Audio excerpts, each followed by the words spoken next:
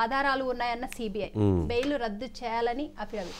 Yes YS Vivekananda Reddy హత్య కేసులో ఎవరైతే ప్రధాన ఆరోపణలు ఎదుర్కొంటున్నటువంటి MP member of parliament Avinash రెడ్డికి ఇచ్చిన బెయిలని అంటే తెలంగాణ హైకోర్టు ఇచ్చినటువంటి బెయిలని బెయిల్ని రద్దు చేయమని కోరుతూ సునీత సుప్రీంకోర్టులో పిటిషన్ వేసింది.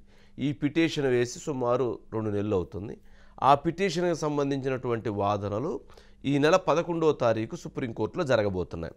ఈ నేపథ్యంలో ఈ నేపథ్యంలో సిబిఐ కౌంటర్ దాఖలు చేసింది. కౌంటర్ ఏమని దాఖలు చేసింది అంటే సిబిఐ చేసినటువంటి ఆరోపణలు ఏంటి అని అంటే ఎవరైతే వైఎస్ వివేకానందరెడ్డి హత్య కేసులో సూత్రధారులు పాత్రధారులు పథక రచనలు చేసినటువంటి వారు హత్య చేయించినటువంటి వారు హత్య చేసినటువంటి వారు సుఫారీ ఇచ్చినటువంటి వారు సుఫారీ తీసుకున్నటువంటి వారు హత్య చేసిన తర్వాత సాక్ష్యాలను తారుమారు చేసినటువంటి వారు తారుమారు చేయడానికి పథకాలను అమలు చేసినటువంటి వారు అన్నీ కూడా వారి ముగ్గురే.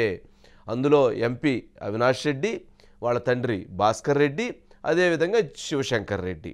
వీళ్ళ ముగ్గురు యొక్క పాత్రలతోనే వీళ్ళ ముగ్గురు యొక్క వ్యూహ రచనలతోనే వివేకానంద రెడ్డి హత్య జరిగింది. ఇందుకు తగినటువంటి పూర్తి సాక్ష్యాలు సాక్ష్యాధారాలు ఉన్నాయి అని సిబిఐ వేసినటువంటి కౌంటర్లో దాఖలు చేశారు. ఇందులో వారు చెప్పినటువంటి మరొక అంశం ఏంటి అని అంటే అవినాష్ రెడ్డికి సంబంధించి ఎవరైతే ఈ కేసు మొత్తం అంటే బెయిల్ రద్దు చేయమని యాంటిసిపేటరీ బెయిల్ రద్దు చేయమని కోరలేదు. కానీ మొత్తం వీరి ఆ కనుసన్నల్లోనే జరిగిందని చెప్పని వీరు తెలియజేశారు. ఈ తెలియజేసినటువంటి దాంట్లో వాళ్ళు కొన్ని పాయింట్స్ని మెన్షన్ చేశారు.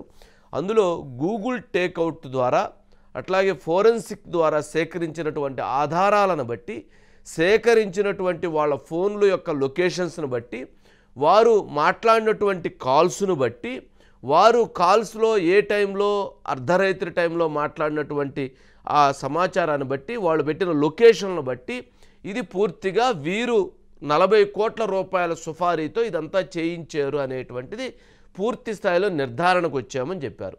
అదేవిధంగా ఎవరైతే సునీల్ యాదవ్ ప్రధానమైనటువంటి ముద్దాయి రెండో ముద్దాయిగా ఉన్నటువంటి సునీల్ యాదవ్ ఈ హత్య జరిగేటువంటి సమయంలో అంటే ఒంటి గంట ముప్పై ఎనిమిది నిమిషాల టైంలో ఆయన ఎవరైతే అవినాష్ రెడ్డి ఇంట్లో ఉన్నాడు అనేటువంటిది కూడా గూగుల్ టేక్అవుట్ ద్వారా చెప్పారు. అట్లాగే ఎవరైతే గజ్జల ఉమాశంకర్ రెడ్డి అనేటువంటి వ్యక్తి మూడు గంటల యాభై ఎనిమిది నిమిషాల టైంలో అతను రోడ్డు మీద పరిగెడుతున్నటువంటి దృశ్యాలని లేదా గూగుల్ టేక్అవుట్ ద్వారా వాటిని కూడా సేకరించమనే ఆధారాలను కూడా చెప్పారు. అలాగే అర్ధరాత్రి అంటే రేత్రి తొమ్మిదిన్నర పది గంటల దగ్గర నుంచి ఉదయం ఐదు గంటల వరకు అవినాష్ రెడ్డి అనేక కాల్స్ని భాస్కర్ రెడ్డి అవినాష్ రెడ్డి అనేక కాల్స్ని ఎర్రగంగిరెడ్డితో ఉమాశంకర్ రెడ్డితో సునీల్ కుమార్ యాదవ్తో ఇలా అనేక మంది ఈ హత్యతో ఉన్నటువంటి వాళ్ళతో ఫోన్లు సంభాషణ జరిగినటువంటి సారాంశాలను కూడా వారు దాంట్లో వ్యక్తం చేశారు. అంటే ఆల్మోస్ట్ ఈ కేసుకు సంబంధించి హత్యకి ముందు మొత్తం పథక రచన ప్రకారంగా జరిగింది.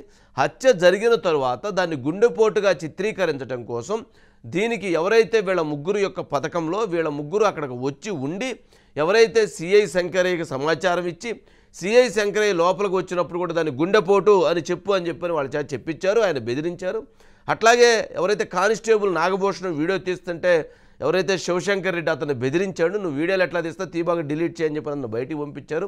అక్కడ ఎవరిని కూడా వీడియోలు తీయకుండా ఫోటోలు తీయకుండా ఆ సాక్ష్యాలు మొత్తాన్ని సాక్ష్యాలంటే అక్కడ ఉన్నటువంటి బ్లడ్ని మొత్తం తుడిచేయటం ఆయన రక్తానికి మొత్తం రక్తం తుడిచేసి ఆయన కో- కట్టు అన్నీ కూడా స్టిచ్చెస్ వేయటం ఆయన బట్టలు మార్చడం అట్లాగే దుప్పటి మీద ఉన్నటువంటి బ్లడ్లు దుప్పట్లు మార్చడం అన్నీ కూడా కంటిన్యూగా మొత్తం దాన్ని క్లీన్ చేసినటువంటి పాత్రలో వీళ్ళ ముగ్గురే భాగస్వామ్యం చేయించారు. హత్య చేయటం ఒక నేరం హత్య చేసిన తర్వాత ఆ సాక్ష్యాలను గుండెపోటుగా నమ్మి నమ్మించేందుకు వీళ్ళందరినీ బెదిరిస్తూ ఇవన్నీ కూడా చేయటం ఇవన్నీ కూడా వీళ్ళే చేశారు. వీళ్ళు అమాయకులు కాదు వీళ్ళు పూర్తి నేర చరిత్రతో కలిగినటువంటి వారు. వీరి మీద అనేక కేసులు ఉన్నాయి. వీరు నేర సామ్రాజ్యంలో భాగంగానే ఇవన్నీ కూడా చేశారు. ఇందులో ప్రధానంగా వాళ్ళు వ్యక్తం చేసింది రాజకీయ కక్షతో రాజకీయ కుట్రలో భాగంగానే ఈ హత్య చేశారు. ఇందులో ప్రధానమైనటువంటిది ఎమ్మెల్సీ టికెట్ వివాదం. తర్వాత వాళ్ళ మధ్య ఘర్షణ ఏర్పడింది. ఎంపీ టికెట్ విషయంలో ఈ హత్య జరిగింది. ఎంపీ టికెట్ అవినాష్ ఎవరైతే అవినాష్ రెడ్డికి ఇవ్వద్దు విజయముకి ఇవ్వండి లేదా షర్మిలాకి ఇవ్వండి లేదా నాకు ఇవ్వండి అని తను పట్టుబడటంతో ఎంపీ టికెట్ రాదు అన్నటువంటి ఉద్దేశంతో ఈ హత్య చేశానని సిబిఐ వారు ఇచ్చినటువంటి దాంట్లో క్లియర్గా మెన్షన్ చేసి చెప్పారనమాట ఇక దీనికి సంబంధించి ఎన్ని ఎవరు ఎన్ని చెప్పినా కూడా అంటే బా ఎవరైతే ఫార్మసిస్ట్ శ్రీనివాసరెడ్డి ఆ కుట్లేసిన ఆయన వాళ్ళు ఏమంటేనే చెప్పానని చెప్పారు. ఎవరైతే సాక్షికి సమాచారం వచ్చినప్పుడు ఆ జర్నలిస్ట్ కూడా శివశంకర్ రెడ్డి చెప్తేనే పెట్టానని చెప్పాడు. అట్లాగే ప్రతి ఒక్కరూ కూడా దీంట్లో ఉన్నటువంటి వాళ్ళందరూ కూడా వాళ్ళ ముగ్గురి మీద చెప్పటం జరిగింది. దీంతో ఇప్పుడు మరి రేపు పదకొండవ తారీఖు వచ్చిన తర్వాత మరలా సుప్రీంకోర్టు అవినాష్ రెడ్డి బెయిల్ని రద్దు చేస్తుందా? అవినాష్ రెడ్డి బెయిల్ని మరలా ఆయన కస్టడీలో తీసుకోమంటుందా లేదా బెయిల్ ఇచ్చేశారు కాబట్టి విచారణ కొనసాగించండి అని చెప్తుందా ఏదో తెలియదు కానీ ఇప్పటికీ దాదాపుగా ఐదు సంవత్సరాలు పూర్తయింది. ఐదు సంవత్సరాలు పూర్తయినప్పటికీ కోడి కత్తి కేసులో ఉన్నటువంటి వ్యక్తి సీను జైల్లో ఉన్నాడు. ఇంత అత్యంత దారుణంగా నరికి చంపినటువంటి వ్యక్తి చంపించినట్టు ఆరోపణలు ఎదుర్కొంటున్న వ్యక్తి బయట ఉన్నాడు. మరి ఎవరు లోపల ఉంటారో ఎవరు బయట ఉంటారో ఎవరు ఎందుకు బయట ఉంటారో ఎవరు ఎందుకు లోపల ఉంటారో అసలు ఈ ఈ న్యాయ వ్యవస్థలో ఈ న్యాయశాస్త్రంలో ఏ రకమైనటువంటి ఈ ఈ చట్టాలు ఉన్నాయో తెలియదు కానీ మొత్తానికి రాజ్యాంగం కల్పించినటువంటి కొన్ని హక్కులు ప్రతి ఒక్కరిని కూడా కాపాడుతూ ఉన్నాయి మనీ పవర్ అనేటువంటిది కాపాడుతుంది అన్నటువంటి పొలిటికల్ పవర్ కాపాడుతుంది అన్నటువంటి విమర్శలు ఈ కేసుల్లో బలంగా వినిపిస్తున్నాయి. సరే Madhu. Madhu.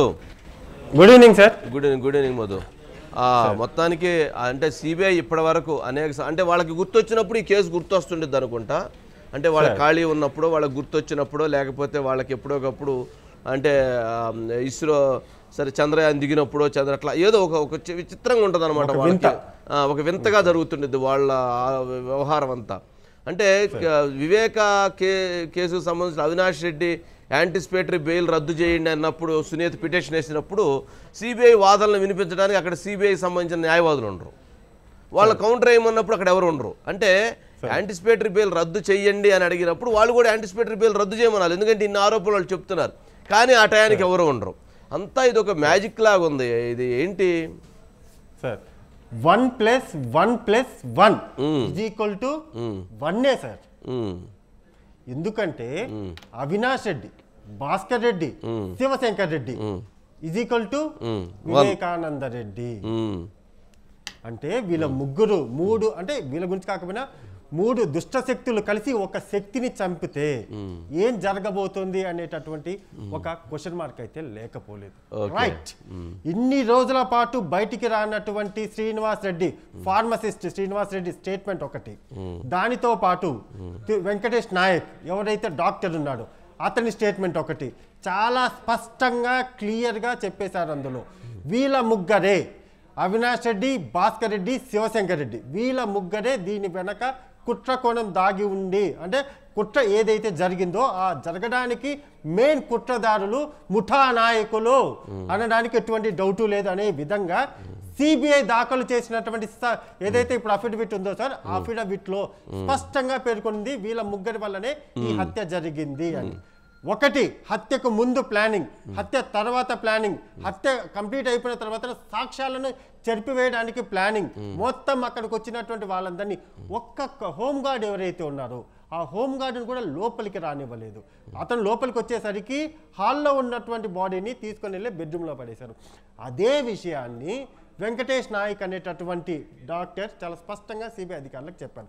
And moreover Srinivas Reddy pharmacist ఎవరైతే ఉన్నారో శ్రీనివాస్ రెడ్డి అతను ఇచ్చినటువంటి స్టేట్మెంట్లో చాలా స్పష్టంగా ఒకటే చెప్పాడు. నేను కొన్ని బ్యాండేజీలు తీసుకొని వస్తే చేచే ఇవేం సరిపోతాయి? మేము కొట్టింది మామూలు దెబ్బలా? ఒంటి మీద వెనక పైన కింద ఓ ఇన్నున్న ఏం సరిపో తీసిపోయి ఇంకా తీసుకురా. అన్ని రేంజ్లో చెప్పారంటే అతను ఇచ్చిన స్టేట్మెంట్లోనే అవన్నీ ఉన్నాయి సార్. అది మనం ఏదో క్రియేట్ చేసినటువంటి విషయం కాదు. ఆ స్థాయిలో అక్కడ అతను చెప్పినటువంటి స్టేట్మెంట్లో ఉంది. ఇక్కడ శివ ఎవరైతే శంకరయ్య ఉన్నాడో ఇన్స్పెక్టరు ఒక ఇన్స్పెక్టర్ ఆ ఏరియాకు ఉన్నటువంటి లా అండ్ ఆర్డర్కు సంబంధించినటువంటి ఒక అధికారి. ఒక అధికారిని పట్టుకొని నోరు మూసుకొని ఉండు అని అంటే సార్? సో ఆయన కూడా ఆయన అప్పటి నుంచి ఇప్పటి వరకు నోరు తెలవలేదట్టుంది శంకరయ్య. అదే కరెక్టే సార్. ఆయన ఇప్పటి నుంచి ఇంతవరకు కూడా నోట్ తెరవలేదు సార్. కానీ ఆ మధ్యలో కొంత పక్కన పెట్టేశారు మళ్ళీ ప్రమోషన్ కూడా వచ్చేసింది సార్. ఎందుకు పక్కన పెట్టారు ఎందుకు ప్రమోషన్ వచ్చింది అది ఓకే ఆ దేవుడికి ఎరుగా కానీ ఇప్పటికీ శంకరయ్య ఇచ్చినటువంటి స్టేట్మెంట్ కూడా సిబిఐ దగ్గర ఉంది. సిబిఐకి శంకరయ్య ఆ స్టేట్మెంట్ ఆయన చెప్పాడు. అంటే నోరు మూసుకొని కూర్చోనేటటువంటి పదాన్ని ఆయనే చెప్పాడా? లేకపోతే శ్రీనివాస్ రెడ్డి విని శ్రీనివాస్ రెడ్డి చెప్పాడా? లేకపోతే వెంకటేష్ నాయక్ ఎవరైతే ఉన్నారో ఆ డాక్టర్ చెప్పాడా? ఇవన్నీ ఎవరు చెప్పినా సరే మొత్తానికైతే కథ ఒక వేలకు వచ్చింది సార్. ఇన్ని రోజుల పాటు తిప్పిచ్చి తిప్పిచ్చి మామూలుగా కాదు మలుపులు. తిరుపతి కొండ ఎన్ని మలుపులు అయితే ఉంటాయో అన్ని మలుపులు బాగా తిప్పారు సార్. కానీ ఇప్పుడు ఒక ఫైనల్ స్టేజ్కి వచ్చింది? అది కూడా సార్? ఎక్కడొచ్చింది? ఫైనల్ స్టేజ్ కంటే సార్ సప్లిమెంటరీ షీట్ అంటే మూడు షీట్లు దాఖలు చేశారు. అలా దాఖలు చేసిన దాంట్లో ఎక్కడా కూడా కొత్త స్టేట్మెంట్లు ఏవైతే కంటిన్యూ ఆగిపోయిందంటావా సార్ సార్? నువ్వు చెప్పావు కదా టు బి కంటిన్యూ అని గతంలో మరి to be to be continue sir to be కంటిన్యూకి end to be continue అనేది రాబోతుందేమో అంటే డౌట్ కూడా లేకపోలేదు. అంటే ఎప్పటికి two thousand two thousand twenty three twenty ఫోర్లోనా twenty ఫైవ్లోనా లేకపోతే ఫార్టీలోనా ఫిఫ్టీలోనా సార్ ఇంకా నేను కూడా చెప్పలేను సార్ అంటే. న్యాయం గెలవ న్యాయం గెలవాలి నిజం గెలవ తేలాలని చెప్పని అవినాష్ రెడ్డి గారు చెప్తున్నారు కదా. మరి సిబిఐ ఏమన్నా సునీత అందరూ ఏమన్నా ఆయన చెప్తారు? ఆయన ఏమన్నా న్యాయం గెలవాలి నిజం గెలాలంటున్నారు ఆయన? ఇప్పుడు అదే అంటే ఇక్కడ ఒకటి సార్ అవినాష్ రెడ్డి ఫస్ట్ నుంచి కూడా ఆయన ఏం చెప్పాడు? గుండెపోటు అనే పదాన్ని నేను ఎక్కడా చెప్పలేదు అని అంటారు. కానీ సాక్షి టీవీకి ఫోన్ చేసి చెప్పినటువంటి వ్య- వ్య- వ్యక్తి ఎవరన్నా ఉన్నారు అంటే అది అవినాష్ రెడ్డి కాకపోయినా ఆయన చెప్పకపోయినప్పటికీ ఆయన పక్కనే ఉన్నటువంటి శివశంకరే కదా చెప్పింది. మరి అదేంటి? దాని విషయాన్ని ఏం చెప్తారు? ఎవరు చెప్పమంటే ఆయన చెప్పారు అనేది కూడా ఉండాలి. అన్ మోర్ ఓవర్ దానితో పాటు అక్కడికి వచ్చినటువంటి వారందరినీ కూడా గుండెపోటు గుండెపోటు ఒరే కళ్ళ ముందు రక్తం కనబడుతుందిరా బాబు అంటే గుండెపోటు గుండెపోటు అని చెప్పేలా ప్రయత్నించడం కూడా దేనికి సంకేతం? అది కూడా పక్కన పెడతాం గజ్జల ఉమాశంకర్కి తెల్లవారుజామున మూడు గంటల పదిహేను నిమిషాలకు ఏం పని సార్? పరిగెత్తుకుంటూ పోవడం ఇంట్లో నుంచి? ఏ కుక్కలు తరుముకున్నాయా లేకపోతే దొంగలు తరుముకున్నారా ఎవరు తరుముకుంటే పరిగెత్తుకుంటూ వెళ్ళాడు? అవినా వివేక ఆ గొడ్డలు తరుముకున్నట్లుంది. ఆ గొడ్డలేమో తడుముకున్నట్టుంది సార్. అందుకని పరిగెత్తుకుంటే మూడు గంటల పదిహేను నిమిషాలకు. ఓకే. అవినాష్ రెడ్డి భాస్కర్ రెడ్డి శివశంకర్ రెడ్డి తెల్లవారుజామున నిద్రపోకుండా అన్ని అంతా మిడ్ నైట్ వరకు కూడా మేల్కొనే ఉండడం అంత ఇంపార్టెంట్ మీటింగ్ ఏందో ఇప్పటికి తెలియదు సో అదే రాజకీయ కక్ష అన్ని అనుకొని ఉంటే ఆ త్రిమూర్తులు ముగ్గురు ఎవరైతే ఉన్నారో ఒక సార్ ఆ ముగ్గురులో ఒకరు ఎంపీ అయ్యేటోళ్ళు ఒకరికి ఎమ్మెల్సీ కూడా వచ్చేది. అది రాకుండా ఫ్యూచర్ అడ్డుపడతాడేమో అనేది ఈ హత్య జరిగిందా అనే డౌట్ కూడా ఇక్కడ లేకపోలేదు. పూర్తిగా వివేకానంద రెడ్డి హత్య జరగడానికి first reason second reason third reason. ఒకటే సార్. డైమెన్లు లేవు డబ్బులు లేవు ఇల్లీగల్ ఎఫ్ఐలు లేవు ఏ స్త్రీతో అక్రమ సంబంధము లేదు. ఒకటే రీజన్ రాజకీయ కక్షతోనే ఈ హత్య జరిగింది అని తేల్చిపడేసింది సిబిఐ సార్. ఓకే. రైట్ మరి చూద్దాం మరి ఎప్పుడు మరి సుప్రీంకోర్టులో రేపు పదకొండో తారీఖు తర్వాత యాంటిసిపేటరీ బెయిల్ రద్దు చేస్తుందా? బెయిల్ రద్దు చేస్తే మరి అవినాష్ రెడ్డిని అరెస్ట్ చేస్తారా? అంటే అవినాష్ రెడ్డిని అరెస్ట్ చేయకూడదు అరెస్ట్ చేయటానికి జరిగినటువంటి ఒక తీవ్ర ప్రయత్నం సిబిఐ. ఇది దేశ చరిత్రలోనే ఒక ఒక అధ్యాయంగా ఉంది. అంటే సిబిఐని బెదిరించడం సిబిఐని ఒత్తిళ్ళకు గురి చేయటం సిబిఐనే ముప్పు తిప్పలు పెట్టడం జరిగినటువంటి సంఘటన. సిబిఐ చివరికి సిబిఐ అవినాష్ రెడ్డి సరెండర్ అయిందా అన్న అనుమానాలు కూడా వ్యక్తమయ్యాయి. మరి ఇప్పుడు పదకొండవ తారీఖు యాంటిసిపేటరీ బెయిల్ విషయంలో మరి ఏం జరుగుతుంది ఏం జరగబోతుంది అనేటువంటిది మరి చూద్దాం మరి లెవెన్త్ రైట్ మోదు థ్యాంక్ యూ